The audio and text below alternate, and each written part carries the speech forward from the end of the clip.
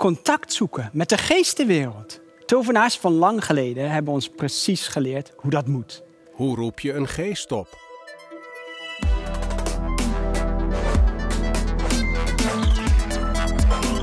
Dit is de Universiteit van Nederland. Stel je eens voor dat al je wensen in vervulling kunnen gaan. Dat zou toch mooi zijn? Wat zou jij willen? Ikzelf wens me kennis, want daar kan ik niet genoeg van krijgen. Mijn studenten willen hoge cijfers, rijkdom, geluk, gezondheid, liefde en nog veel meer. Dat zijn natuurlijk mooie wensen, maar meestal gaan ze slechts in vervulling door toeval of pas na jarenlang studeren of hard werken en soms zelfs nooit.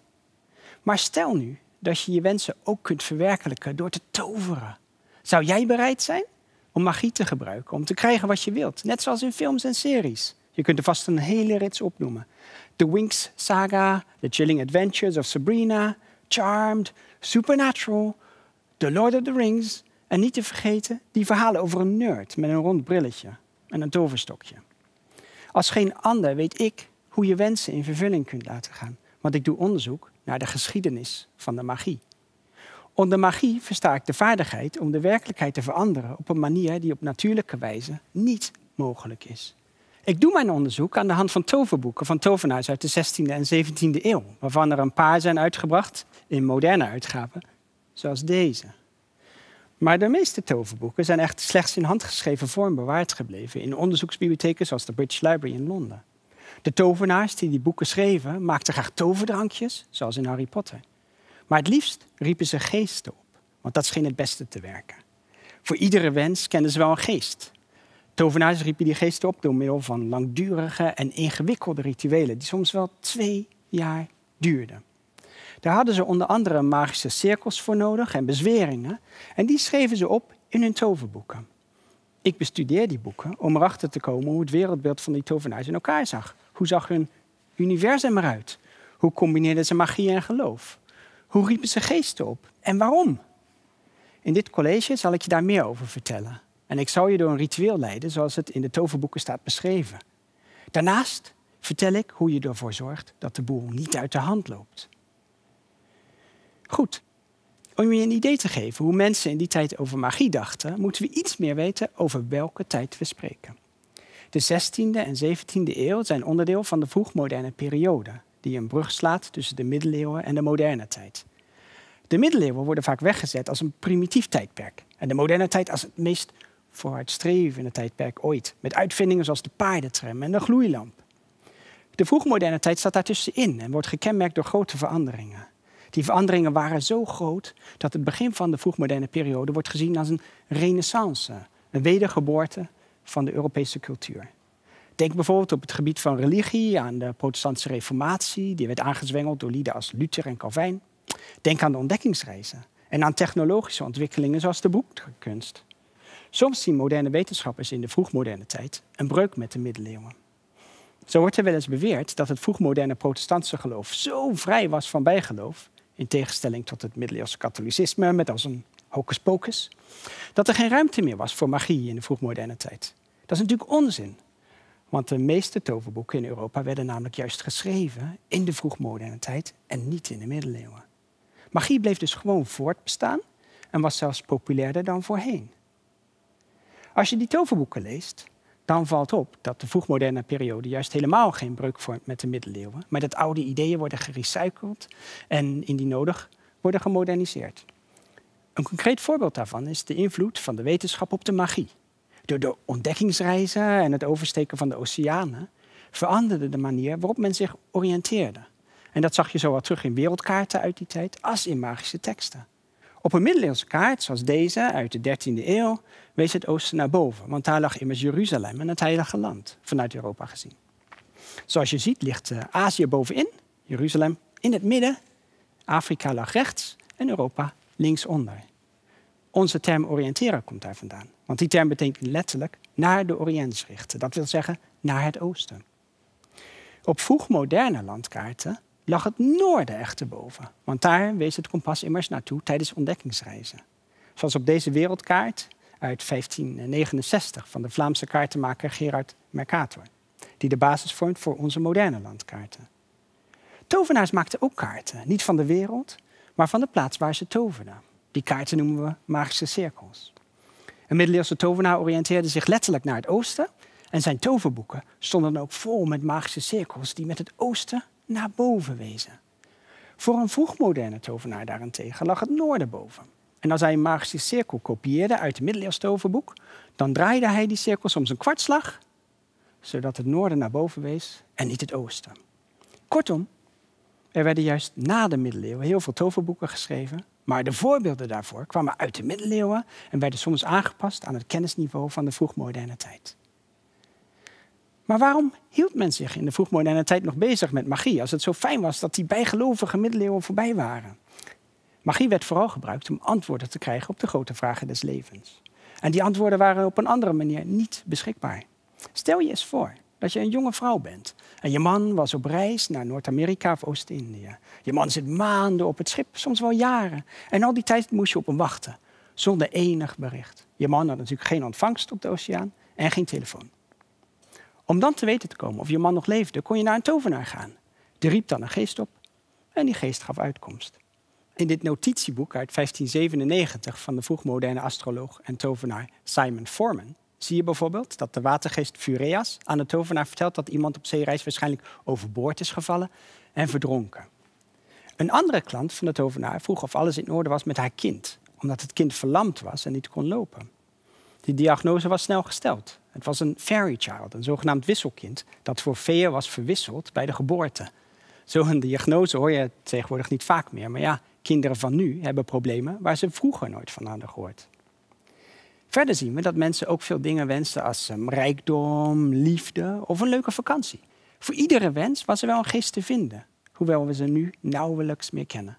Zo kon je de geest Asmodeus oproepen om te vragen of er ergens in de buurt een goud of zilverschat te vinden was. Of je kon de geesten Almazin en Elikona oproepen om iemand hopeloos verliefd op je te laten worden. Of je wilde op vakantie. Nu is dat makkelijk, je pakt gewoon het vliegtuig.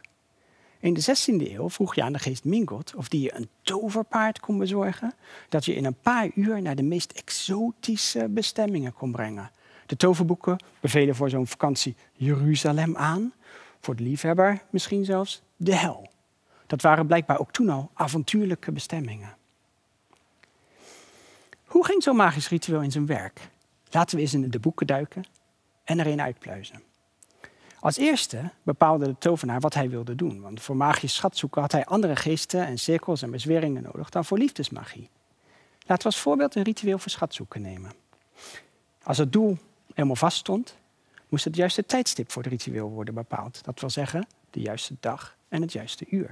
Dit komt omdat de geesten die de tovenaar nodig had op verschillende plaatsen in het heelal woonden. Die geesten waren meestal duivels of engelen. En die woonden niet alleen in de hel en de hemel, maar ook in en op de planeten, de sterren en in de vier elementen, inclusief onze eigen aarde. Het gehele universum was dus vroeger bewoond en niet zo dood als astronomen tegenwoordig denken. Voor schatzoeken is het uur van Saturnus op de donderdag geschikt, omdat de geesten voor schatzoeken op Saturnus wonen. Een paar weken voorafgaand aan het juiste tijdstip moesten de tovenaar en zijn helpers zich goed voorbereiden. Ze moesten schoon van lichaam en geest zijn. Dat betekent veel bidden, in bad gaan, paard en nagels knippen, schone kleren aandoen, niet feesten en geen onreine gedachten hebben. Wat dat betreft lijkt een tovenaar erg op een priester, want beide moeten rein zijn alvorens een ritueel uit te voeren. Dat is logisch, want een vroegmoderne tovenaar was een gelovig mens. Die moest vertrouwen op de hulp en de bescherming van God tijdens het magische ritueel. Na de geestelijke en lichamelijke voorbereiding moest de tovenaar zijn tovergereedschap verzamelen, waaronder een, een zwaard, een uh, staf, een ring met magische symbolen en een toverboek. Die instrumenten moest hij laten zuiveren door een bevriend priester, omdat het ritueel anders zou mislukken. En dan werd de locatie voor het ritueel voorbereid. Voor liefdesmagie kon je binnen maar voor schatzoeken moest je buiten zijn. Bijvoorbeeld in de buurt van een rivier als je watergeesten wilde oproepen, of op een open plek in het bos als je aardse geesten opriep. Die plek maakte je schoon met je bezem en dan maakte je je magische cirkel. Dat deed je door met je staf de cirkel in de grond te tekenen. Je kon ook thuis een opvouwbare cirkel uit papier of perkament maken en die vervolgens op de open plek uitvouwen. Nou, goed onderzoeker gaat natuurlijk nooit zonder cirkel de deur uit. Ik vouw de mijne dan ook vast maar even uit voor het geval hier ergens een schat ligt.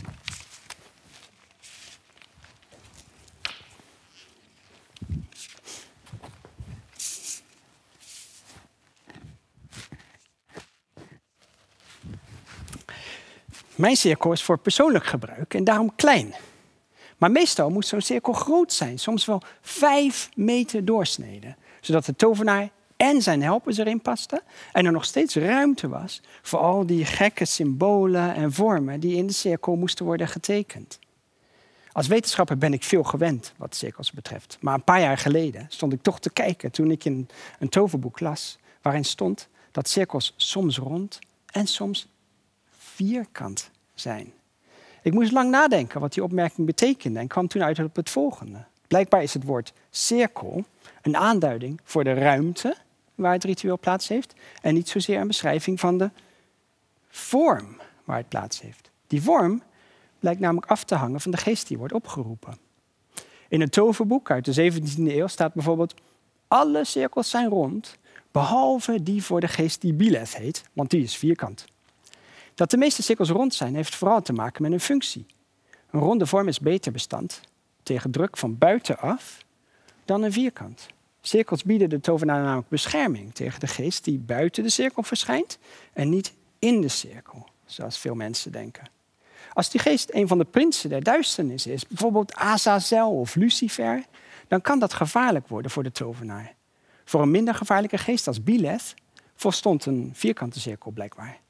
Voor magische schatzoeken kun je overigens beter een ronde cirkel gebruiken, omdat je dan met gevaarlijke geesten, zoals Asmodeus, te maken hebt. Goed, de tovenaar had de cirkel getekend of neergelegd en dan begon het echte werk. De tovenaar en zijn helpers maakten de cirkel open, gingen de cirkel in met alle instrumenten en sloten de cirkel weer. De tovenaar ging zitten en las hardop een reeks bezweringen voor uit zijn toverboek. Die bezweringen zaten ingewikkeld in elkaar maar begonnen bijna altijd met de woorden: Ik bezweer jou, geest X. Ondertussen stonden de helpers op de uitkijk om te zien of de geest kwam.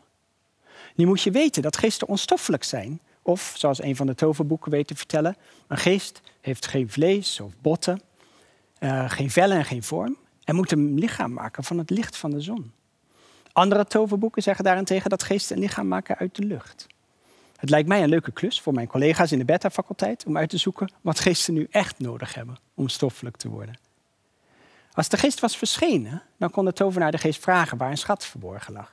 De geest gaf antwoord en kreeg van de tovenaar toestemming om terug te keren naar de geestenwereld.